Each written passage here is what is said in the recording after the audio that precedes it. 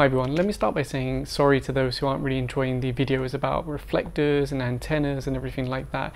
Um, I am going to try and mix it up with different videos, but for those that do enjoy the topic, hopefully you'll like this video. I'm going to show you what I've been working on in the last few days. Now this is a pocket Wi-Fi or a MiFi or a mobile hotspot. It goes by many names, but basically it connects to the mobile network, whether it's 3G or LTE, and lets you connect to this via Wi-Fi.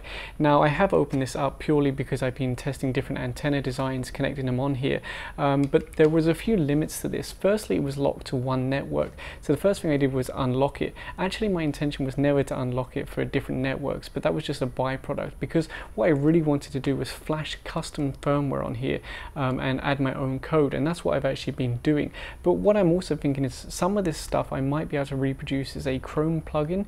So if you're interested in what you see today, just let me know and I'll think about whether I can make an extension that does similar. So what is it that I've actually done or the main thing that I'm interested in. So if I show you here on the iPad, you'll probably look at this control panel and say, yeah, that looks somewhat familiar. But if I scroll down, this is when you'll see the new stuff.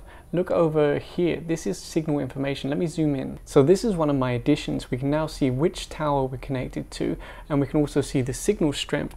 Now, the reason why that matters is that before when we're testing, we're doing speed tests, we're doing pings, but that doesn't take into account like problems with the tower, for instance, congestion. So by having these extra figures, for instance, I can see the raw strength, I can see the strength of the actual LTE signal once it's been filtered, we can see the quality. Um, this really helps us pinpoint the actual tower and the best location or the best way to actually point this. So let me show you an example. Right now you can see I'm connected to the smart network, but I've got no bars of signal. So what I'm going to do is move this around until I get at least one or two bars. Basically I'm going to move it to the best location that I can get based on the signal figures at the bottom here. Okay, so this is roughly the best location and I'm going to begin the speed test and let's see what we get just without any antenna or any reflector. So the test is completed and we got 7.13 meg down and 1.15 up. Sorry about the reflection from the light, but I think you can see that. Now I'm going to do the same, but I'm going to use my reflector. Now we already know the reflector works. This isn't to try and prove that a reflector works. What this is to do is to show you that using my new signal information, I can actually pinpoint the tower so much more accurately that I can actually show even more impressive results. So something like this position here is giving me roughly the best figures. You can see that they're going from yellow to green. Um, obviously green is better, yellow isn't as good. Um, let's try and do a speed test. Now what you'd probably want to do is actually put this on a tripod so that you can get it like pinpoint accurate because that's the whole idea of having these advanced stats is that we can see like every decibel that matters. Anyway, let's uh, do another speed test and see what we get this time.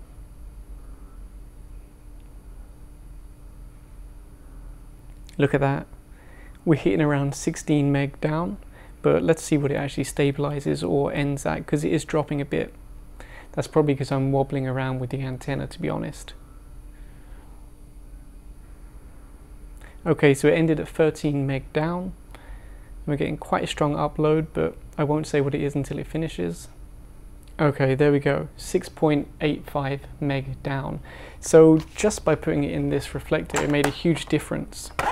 Now the video isn't about the reflector. If you're interested in the reflector, I'll put a link down below to more information on that, how you can make it, etc. What today's video is really about is getting advanced access to this through a shell or through Telnet so that we can do firmware modifications and things like that and make changes like this to put the signal quality data on the control panel itself because it really just makes it so much easier. And it also means that when I test antennas like this, which I haven't made a video about yet, but I do plan to, or antennas like this, which is my DIY one, it means we have a way of easily knowing the exact signal strength improvements that we get from these antennas, or if they don't help at all and it makes it so much easier aiming them, especially this one, which is highly directional. You have to point it towards a cell tower. And another thing I've done is I've added sound alerts. So when it changes cell tower, it will make a noise, so I quickly know. What I also want to do is have it beep based on the quality, so that when I'm scanning this around, it'll be like beep, beep, beep, beep, beep, beep, beep, beep, beep. So when I'm pointing it in the right direction, I have like a audio confirming like a faster beep. So that's another modification I want to make to this, just so that we can really like get pinpoint accuracy accuracy because that's how you get the top speeds. So yeah, like I said, if you are interested and you might want to use this feature yourself, let me know in the comment section down below. Um, if I do make a Chrome extension, it will only be for this brand, the, um, I always say this wrong, the Hawaii, Huawei, Hawaii, Huawei, whatever, this brand. So yeah, if I do make an extension, it will only be for that brand. Um, it'll probably work on most of their LTE modems, but not on all of them. Um, but yeah, if you enjoyed this video, please give a thumbs up and subscribe and leave a comment down below. Thanks for watching.